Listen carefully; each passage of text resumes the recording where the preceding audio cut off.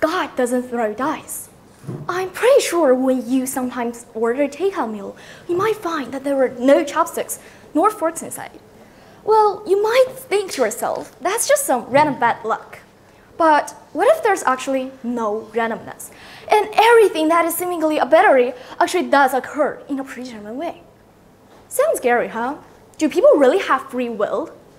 Now, I'm well aware that this speech is not going to be anything that you have probably ever heard of before. And I'm not confident enough to say that as a 13 year old, I could solve any social problem easily. So, what exactly am I going to tell you today? I'm not here to persuade or to call to action.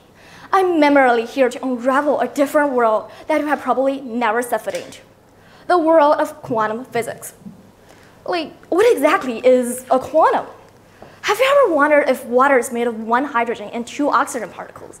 Does that mean if everything is made of gas? If so, then why can't we just pass through them? What's beyond the smallest particle? Quark? Is there anything smaller than that?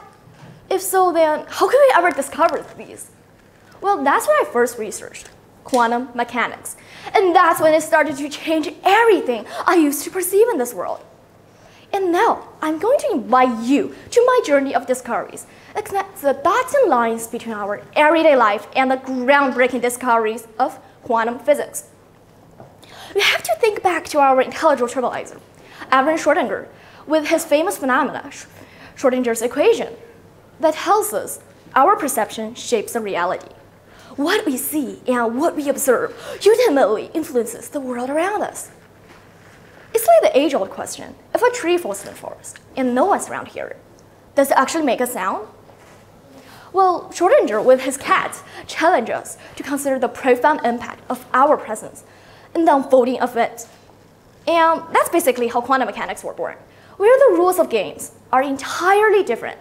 Here, we encounter a mind-bending concept of quantum entanglement. Imagine two particles dancing a delicate balance of state. Their fate intertwined through vast distances, and fast forward to the Solvay Conference of 1927, a gathering of the brightest minds in the era. Here, Erwin Schrödinger and Werner Heisenberg engages a spirit debate that echoes through history. Erwin champions a deterministic universe governed by predictable laws, while Heisenberg introduces the notion of uncertainty that our universe is shaped by endless possibilities, rather than predetermined fate. These discussions lay the groundwork for our understanding of quantum universe, giving birth to concepts like EPR paradox and Copenhagen interpretation. They challenge us to rethink our assumptions of reality, inviting us to embrace an interconnected and probabilistic nature of cosmos. Consider the loved ones we've lost, the moment we cherish. Could they exist in parallel world, living out different versions of reality? Quantum universe offers us a glimpse into multiverse, where the dots between past, present, and future blur into infinity. Well, now I just realized how every time I try to get my peers to be even remotely interested in this topic, they find it very boring. Boo. Nobody wants to know what is quantum. But why should you, as a non-physicist, even cares about quantum physics? The answer lies in shaping our modern world. Consider the advantage of quantum computing, where traditional computers falter and quantum computers excel.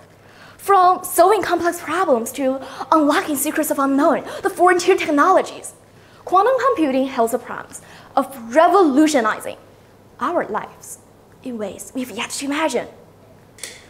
Theories abound offering pathways to technological innovation, scientific discoveries, and perhaps even the quest in search for extraterrestrial life just as the orbital navigates through the vastness of space. So too do we embark a journey in history through water. So in closing, let us heed the words of wisdom. Do not judge the God.